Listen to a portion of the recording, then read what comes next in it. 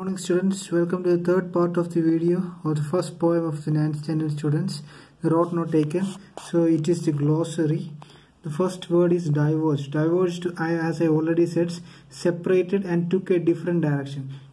Diverge means like this. It is one road and which is diverged into two roads. Okay? This is a diversion. So one road is diverged into two roads. Okay undergrowth. Undergrowth. Dense growth of plants and bushes. Undergrowth okay? It's a wild range of plants and bushes. Wandered where? Which means had not been used. It's a non non-usable thing. Hence. Hence means it's in the future term. It's a future term okay? Hence. So let's see let's do about the answer the following. Where does the traveler find himself and what does the problem he face so where does the traveler find it? He is, he is the traveler is just traveling through a, a road in a forest and when there is a point where one road is diverged into two, he face a problem or he face a confusion or dilemma that which road he should be taken. This confusion is uh, always confusing the traveler and he just find or he just prefer the road less traveled by okay? This is this confusion of which road should be preferred is what the problem faced by the author okay? The second one discuss discuss what these phrases mean to you. A yellow road.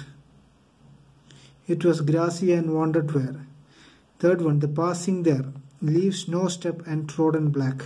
How way leads on the way? A yellow road means it's a forest road which is full of dropped grasses, uh, dropped leaves and grasses. It was grassy and wandered where. What does it mean wandered where? Because it is full of grass which is not used for a lifetime, which is not been uh, traveled for a lifetime. That road is not used for a lifetime. That's what it mean by grassy and wandered. The passing there. Passing there means he is going through the uh, or he is traveling through that forest path leaves no step and trodden black which means there is no marks or remarks that someone is travel on that way. The clean road is full of marks that everyone is traveling on but in this road which is less traveled by there is no marks or remarks that someone has traveled on that way. How way leads on the way which means that he he is not he don't know about which destinations he is heading to or he don't know that where this road ends. So that's what the answer answers of the second one. Third one. Is there any difference between the two roads as per the poet describes them? In this stanza 2 and 3 in the last two lines of the poem. Yes. In the first uh, 2 and 3 he has been mentioning about the physical uh, or the material aspects of both these roads that one is a well furnished and well clean up road and the other is a less traveled by road.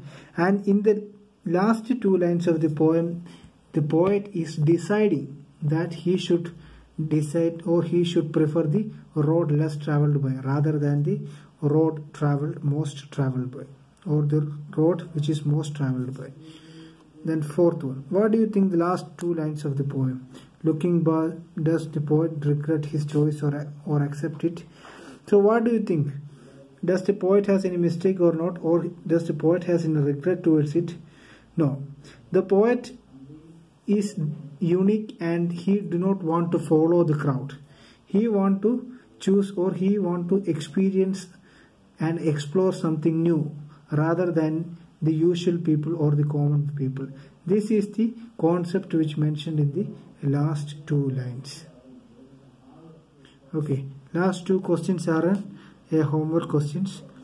You, you need to do it by yourself. Have you ever had to make a difficult choice or do you think you will have difficult choices to make? How will you make the choice? For what reason?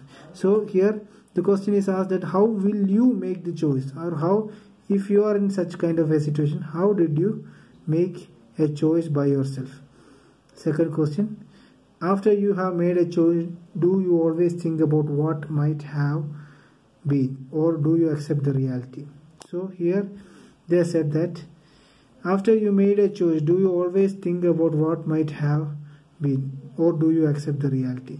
So these two questions you need to answer by yourself as a homework. So there is a small quote of Jawaharlal Nehru is mentioned here. Let's read that. Time is not measured by passing of years, but by what one does, what one feels, and what one achieves. So Jawaharlal Nehru said that time is not measured by the time of years. It is not a matter of that how many years you, but what you do and what one feels and what everyone achieves. So that's all about the first poem for the 9th standard students. So do study well and do the last two questions as an exercise. Thank you.